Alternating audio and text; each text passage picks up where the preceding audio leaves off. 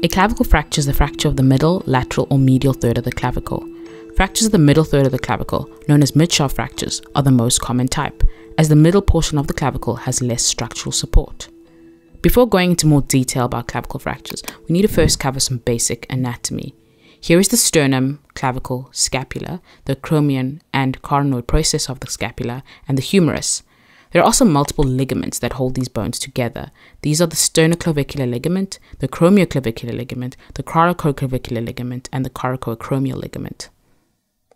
Clavicle fractures can occur in healthy bone or diseased bone. In healthy bone, they occur due to non accidental injuries as a result of abuse. They may be also accidental as a result of a sport or non sport related injury. The Allman classification is used to classify these fractures, and there are three groups. Group 1 are fractures involving the middle third of the clavicle, Group 2 fractures involving the lateral third of the clavicle, and Group 3 fractures involving the medial third of the clavicle. Group 1 fractures of the midshaft are the most common type, as there is less soft tissue support here. The lateral and medial aspects of the clavicle have muscular and ligamentous structures that offer support. Now we'll look through two quick examples. This is a group 1 midshaft fracture. Remember, they are the most common type. They involve the middle third of the clavicle, which has the least structural support. Now to a more complex injury, floating shoulder, which is seen in the illustration. So what is floating shoulder? It is the combined clavicle fracture and scapular fracture of the glenoid neck. It is a rare high energy injury which may occur from an MVA, fall from a height, or gunshot. Key characteristics is the disruption of the superior shoulder suspensory complex, which includes the middle and distal clavicle, the acromion, the coracoid, the acromioclavicular ligament, the coracoclavicular ligament, and the glenoid. One must assess for other associated injuries, which may include pneumothorax, neurovascular injuries, and muscular injury. We have reviewed two specific examples here. How would you generally approach a patient? As with all trauma patients, one must apply basic ATLS principles.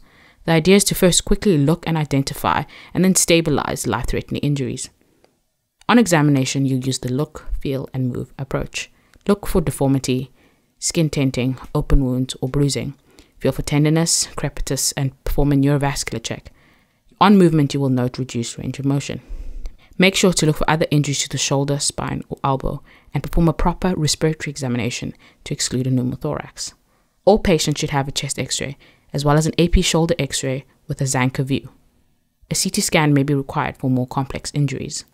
Management. After ATLS principles have been applied and the fractures confirmed on imaging, if there is a pneumothorax or hemothorax, they will require an ICD and surgery.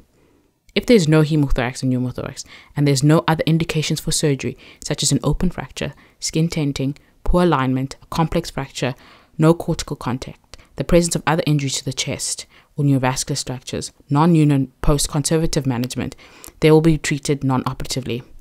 Non-operative treatment includes a shoulder immobilizer, which is preferred, or a collar and cuff for three to four weeks to allow pain to settle and commence early range of motion. Those with indications for surgery will get an ORIF with a plate or intramedullary nail, as shown here and here. For more information and a one page summary and quizzes on clavicle fractures, visit 4minutemedicine.com.